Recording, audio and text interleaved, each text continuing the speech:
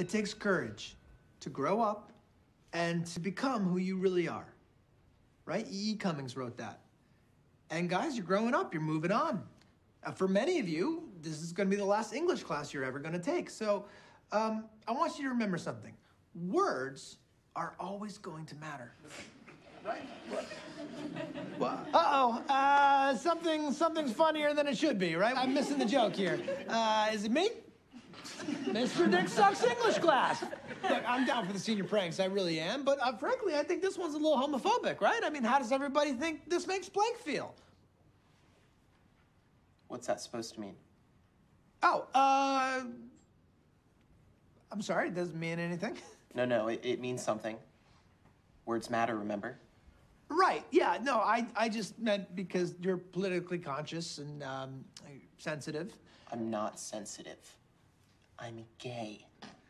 And I wrote it. And I drew the cat. There's a cat. What is. Well, what is this?